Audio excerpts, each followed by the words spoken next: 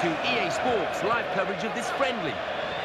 Your commentary team, Martin Tyler and Alan Smith. Hi there, everybody. Mark, here he is with a chance. In with a chance. And they've scored. And they've opened the scoring here.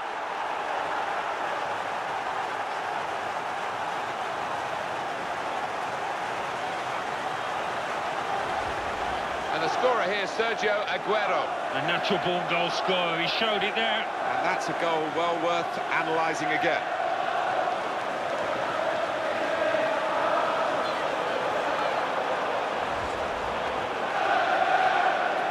Manchester City are in the lead.